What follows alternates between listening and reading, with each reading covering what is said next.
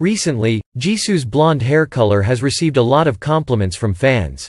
However today she revealed it is not her true hair color. Jisoo said, Every time I take a photo, my hair color looks different. But this is the closest. Actually my hair color, I didn't know well either. Maybe we'll have to wait until tomorrow during the group's V-Live to know exactly.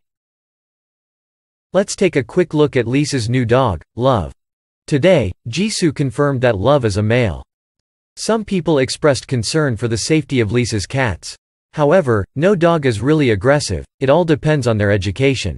Her puppy is so precious and cute.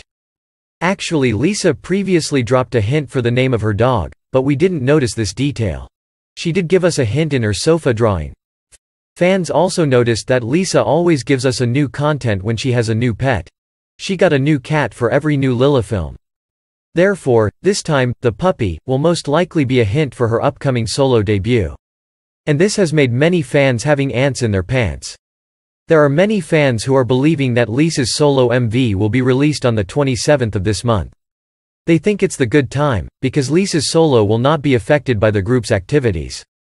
And especially, the number 27 is her favorite number.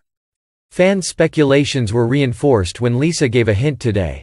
They said that Lisa gifted us, love, one day before the anniversary. And, the International Dog Day, is Thursday, August 26, one day before the release date of the solo MV.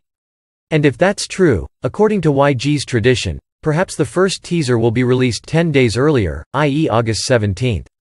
Rosé, Jisoo, and Jennie were seen in Korea today, they look so good. The fansite's owners didn't get to see Lisa. It might be that she's getting ready for her comeback, so could it be she dyed her hair? And this is special thing, it seems like there's a specific time for these fansites when to upload. Jennie's fansites is 8.14 p.m. Rosé's fansites 8.15 p.m.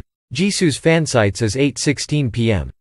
So Lisa's fansites, if there are pictures of her, is 8.17 p.m. This is probably also a hint that the Blackpink members revealed about the release date of Lisa's first teaser.